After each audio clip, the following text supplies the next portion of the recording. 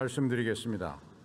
국회의원 이재명 체포동의안은 총 투표수 295표 중 가 149표, 부 136표, 기권 6표, 무효 4표로서 가결되었음을 선포합니다.